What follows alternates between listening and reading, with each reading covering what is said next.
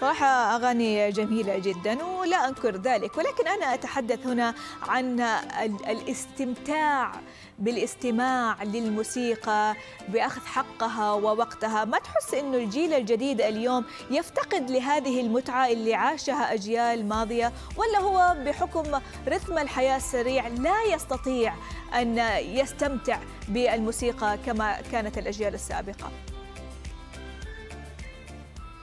بحس إنه جيلي أو الجيل الصغير حاليا متأثر بشكل كبير ب platforms زي تيك توك اللي هي تجبر الفنان إنه يعمل content يشد الانتباه بأسرع طريقة ممكنة. مزبوط. آه فالموسيقى السريعة هي كمان بتشد الانتباه بطريقة سريعة بتوصل المعلومة بطريقة أسرع.